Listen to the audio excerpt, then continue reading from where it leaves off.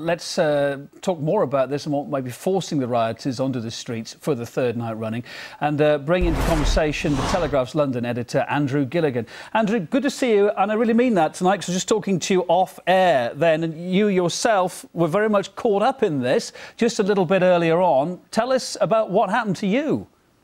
Yes, that's right. I was um, coming back from covering the uh, riots in Tottenham. My route back took me through Hackney, which, as you just heard, is, is a centre of uh, difficulties at the moment.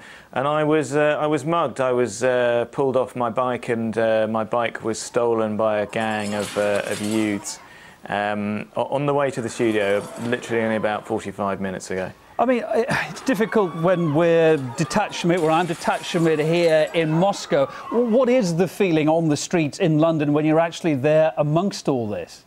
What's the scale of the well, anger? It's, well, I spent most of the day in Tottenham, which is where it all kicked off, um, interviewing people who had lost their homes um, as a result of these riots, and they are furious with the rioters. They say that uh, what happened to Mark Duggan, the man who was shot by police, is absolutely no excuse at all for what happened to them.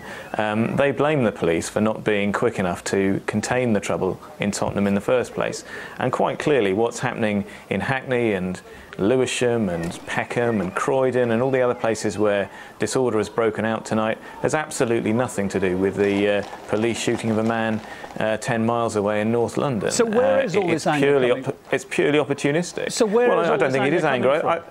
It's not anger at all. I think it's pure criminality, uh, and people are taking advantage uh, and and and uh, and uh, of of what they see is is a, a lawless situation and a, an overstretched police force to uh, do their worst and help themselves to free goods. Well, one British MP. I don't think there's anything political about this. One British MP stuck his neck on on the line tonight a bit, I guess, by saying there's no political point to any of this. Uh, people just want some excitement in their lives. Was his quote.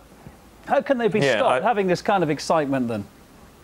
Well, it's difficult. I mean, the trouble is, it, it, spreads very quickly, this kind of thing. We've seen it, in fact, in the Arab world. We've seen it, social media spreading unrest in the Arab world, um, probably for the good there. Uh, but here, it's spreading in exactly the same way, arguably for the bad. Um, and uh, there are lots of uh, kids on, on Blackberries and instant messaging and Twitter and all the rest of it, spreading the word about where the next ruck is going to be, and they might be able to move faster than the police. Um, I think perhaps, I, I, mean, if this carries on like this, it is quite worrying. It does seem to be breaking out in four or five different parts of London. Have the police got a handle on it tonight?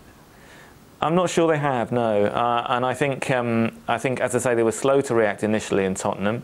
Um, I, I think. Uh, they they're clearly going to be quite stretched because if this is happening in four or five different places now, it could be 10 or 15 places tomorrow night just, um, or more. Just a final quick thought. I was speaking to a community group leader in London just a bit earlier on. He said this had all been brewing for a long time. Communities felt that they'd been badly treated.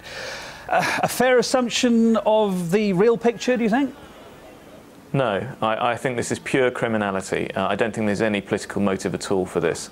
Uh, they're not attacking the police, they're not attacking official buildings, they're attacking shoe shops and, uh, and businesses and, and stealing whatever they can carry. All right, Andrew Gilligan, uh, Telegraph's London editor, good to see you, safe and sound. Thanks for being on the programme tonight. Thanks.